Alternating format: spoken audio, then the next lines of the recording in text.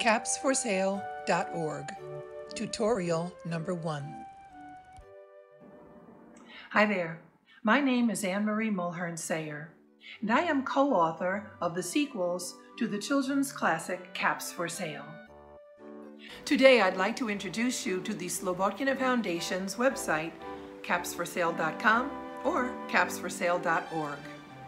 This is the first of several tutorials where I will walk you through each section of the educational and fun-filled web pages. Before I get into what the Caps for Sale team has prepared for you, I want to begin with an overview. There is so much to explore. So if you want to find anything quickly, you can always scroll to the bottom of the page and click in the list. Along the top of the tree, you'll find fun information and things to do by clicking on the caps labeled with each of the five CAPS storybooks.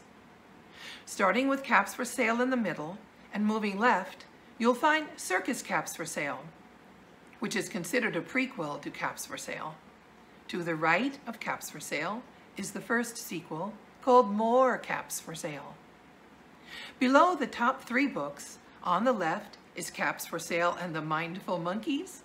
Move to the right and find Caps for Sale and the Monkey Helpers.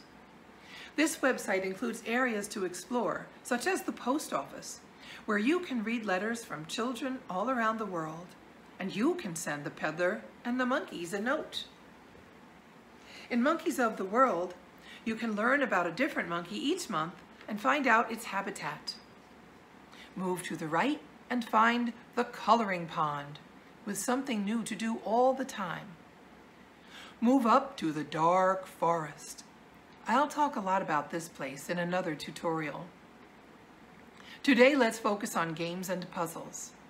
Games and puzzles can be found at the top of our homepage under Have Some Fun. Click on those words and a drop-down box will open. Here you'll find a list of things to do. But today, click on the bottom box marked Games and Puzzles. Once the page has opened, you can click and print any or all of the pages.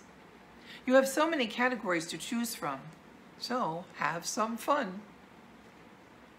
Please let us know if you liked this tutorial by clicking the thumbs up button below and send us an email to join our email list or just say hello. Thank you for watching and happy reading.